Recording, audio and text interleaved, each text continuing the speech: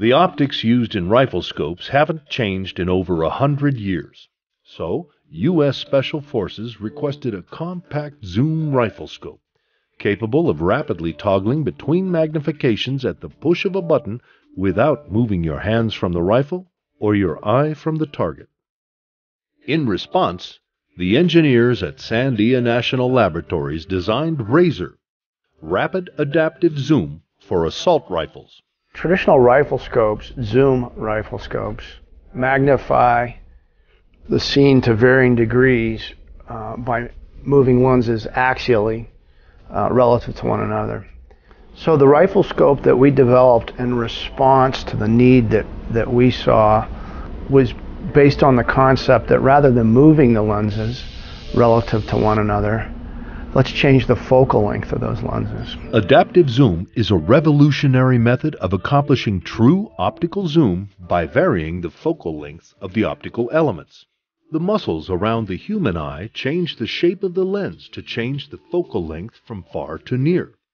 RAZAR uses polymer in a similar fashion. This is a simulation of the deflection of the polymer membrane under actuation. By being able to change the radius of curvature of these lenses with a small actuation displacement of this plunger, we're able to realize a fairly large change in the radius of curvature or the focal length of the lens. That allows us to create a, a rifle scope system with uh, a dynamic zoom. This is a leap ahead technology. This liquid lens technology allows us to do is to take something that could be as, as big as our current optics and increase the performance, you know, five, tenfold. Uh, the fact that this leap ahead technology was done on a shoestring budget uh, is a testament to Dr. Bagwell and his dedicated team of engineers at Sandia National Labs. Um, truly a, a, monumental achievement. The adaptive uh, zoom rifle scope that we, we eventually wound up building um, resulted in a, a relatively um, short form factor, uh, but the real benefit uh, of the of the push button zoom rifle scope was just that push button zoom. Um, we the system that we eventually tested with um, U.S. Army Special Forces uh, allowed them to instantaneously, and by that I mean a tenth or two tenths of a second, push a button, change their their field of view, um, either wide field of view that allowed them to uh, be situationally aware, um, or narrow field of view, high magnification for target engagement.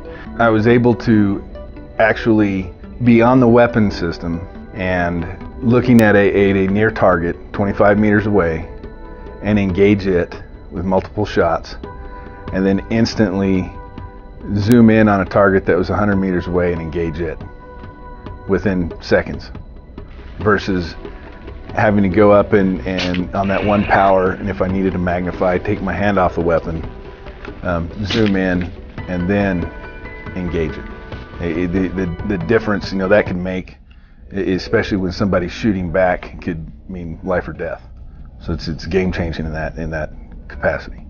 The direct view technology developed by Sandia provides a large, clear aperture and the required optical quality.